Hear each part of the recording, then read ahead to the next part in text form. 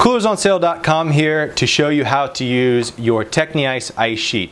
We're getting ready to do a best ice pack for your cooler ice challenge and TechniIce is one of the ice sheets that we're going to be using. This is an interesting sheet because not only can it be cooled, it can also be warmed, but it shows up when you buy it like this. It's a flat sheet. It's not like this. You have to hydrate the cells in order to be able to use it.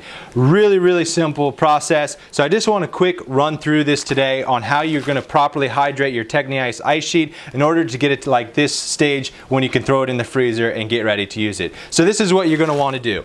You're going to want to submerge the Techni ice ice sheet and just squeeze it in your hand under warm water and you'll see the air bubbles coming out. You can see those air bubbles being released as I'm squeezing and as those air bubbles are releasing, water is being introduced. It's a one-way material so water can only go in, it can't come out and that activates the polymer on the inside which is going to allow you to essentially use your TechniIce.